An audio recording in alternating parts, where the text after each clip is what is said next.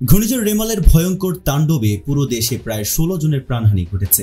দর্শক, ঘূর্ণিঝড় রেমালে পুরো দেশে কোথায় কেমন ক্ষতি হয়েছে, কি পরিমাণ ক্ষয়ক্ষতির সম্মুখীন হয়েছে পুরো দেশ, একই সাথে ষোলো জন কোন কোন জেলায় মৃত্যুবরণ করেছে, ঘূর্ণিঝড় রেমালের সর্বশেষ পরিস্থিতি সম্পর্কে চলুন বিস্তারিত জেনে যাক।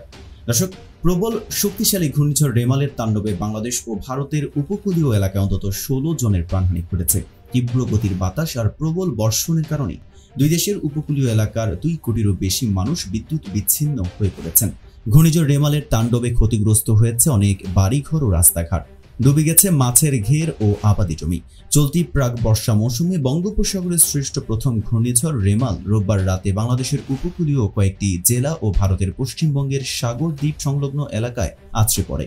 জলবায়ু পরিবর্তনের কারণে সমুদ্র পৃষ্ঠের তাপমাত্রা বৃদ্ধি পাওয়ায় দক্ষিণ এশিয়ার দেশগুলোর নিচু উপকূলীয় এলাকায় প্রায়ই এই ধরনের ঘূর্ণিঝড় আঘাত হানছে। আবহাওয়া কর্মকর্তারা বলেছেন, রোববার গভীর রাতে বাংলাদেশের দক্ষিণাঞ্চলীয় বন্দর মোংলা ও ভারতের পশ্চিমবঙ্গের পার্শ্ববর্তী সাগর দ্বীপের আশেপাশের এলাকা অতিক্রম করেছে ঘূর্ণিঝড় রেমাল। বিদ্যুৎ বিচ্ছিন্ন হয়ে যাওয়া উপকূলীয় অঞ্চল থেকে ক্ষয়ক্ষতির তথ্য আসা শুরু করেছে। এর সাথে সাথে উভয় দেশেই ঘূর্ণিঝড় রেমালের তাণ্ডবে মৃতের সংখ্যা বাড়ছে। বাংলাদেশের দুর্যোগ ব্যবস্থাপনা বিভাগের প্রধান মিজানুর রহমান টেলিফোনে বার্তা সংস্থা রয়টার্সকে বলেছেন, ঘূর্ণিঝড় রেমালের আঘাতে বাংলাদেশ অন্তত দশ জনের অধিকে প্রাণহানি হয়েছে। তবে এই বিষয়ে বিস্তারিত কোনো তথ্য তিনি দেননি। যদিও এর আগে তিনি বলেছেন, ঘূর্ণিঝড় আশ্রয় কেন্দ্রের দিকে যাওয়ার সময় দুজন নিহত হয়েছেন। ঘূর্ণিঝড়ে ক্ষয়ক্ষতির পুরো পরিমাণ জানার জন্য কর্তৃপক্ষের আরও সময় লাগবে বলে জানিয়েছেন তিনি। মিজানুর রহমান বলেছেন, মানুষ সাধারণত তাদের গবাদি পশু ও ঘর বাড়ি ছেড়ে ঘূর্ণিঝড় আশ্রয় কেন্দ্রে যেতে চান না। তারা একেবারে শেষ মুহূর্ত পর্যন্ত অপেক্ষা করেন, যা এই ধরনের পরিস্থিতিতে অনেক দেরি হয়ে যায়। এদিকে ভারতের পশ্চিমবঙ্গ প্রদেশে ঝড়ের আঘাতে বিদ্যুতের তার ছিঁড়ে অন্তত চারজন নিহত হয়েছেন। ঘূর্ণিঝড় রেমালের প্রভাবে দেশের উপকূলের বিভিন্ন এলাকায় দুই কোটি বাইশ লাখ গ্রাহকের বিদ্যুৎ সরবরাহ বন্ধ রয়েছে বলে জানিয়েছে বাংলাদেশ পল্লী বিদ্যুতায়ন বোর্ড।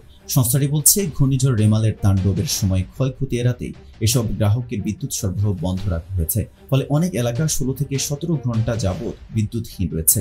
ঝড় পুরোপুরি থেমে গেলে বিদ্যুৎ সংযোগ ফিরিয়ে দেওয়ার প্রস্তুতি নিয়ে অপেক্ষায় আছেন পল্লী বিদ্যুতের কর্মীরা।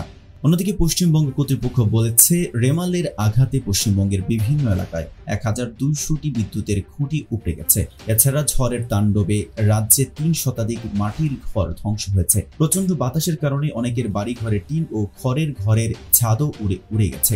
বৃষ্টি ও উঁচু জোয়ারের কারণে সুন্দরবনের কিছু বাঁধ এবং উপকূলীয় অঞ্চল ক্ষতিগ্রস্ত হয়েছে।